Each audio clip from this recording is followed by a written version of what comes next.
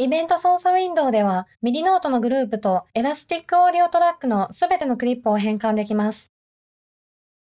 メニューバーのイベントからイベント操作内のイベント操作ウィンドウを選択します。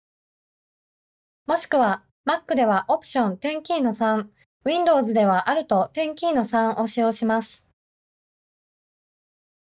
イベント操作ウィンドウ内のクオンタイズでは、 MIDI ノートの位置と長さを調整して、タイミングを改善したり、リズムの雰囲気を変更したりできます。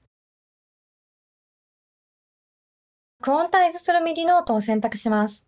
グリッドやグルーブを選択したら適用をクリックして、選択したノートをクオンタイズします。